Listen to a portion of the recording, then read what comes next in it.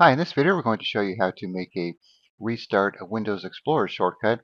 So let's say you need to restart Windows Explorer for whatever reason or it's something you do quite often and normally you'd have to go to Task Manager, find Windows Explorer which is usually near the bottom, right click on it, then restart.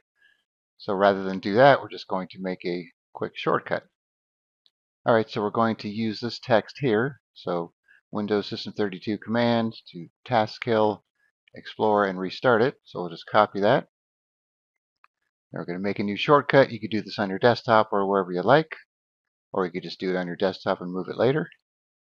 Alright, so right click, new shortcut, paste that in, next, give it a name.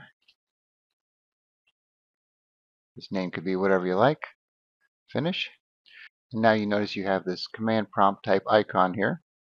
So you can right click on that, properties, change icon, and then you have to find something on your computer that you like, or you know, download an icon file from somewhere else, like I have here.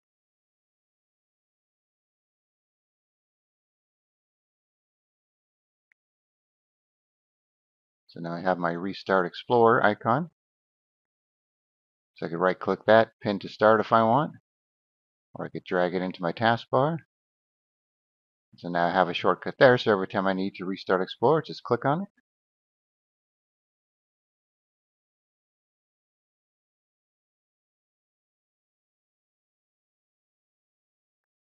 Alright, so now it's back, and for some reason when I record at a low resolution, it always changes the background to black, but it shouldn't do that for you.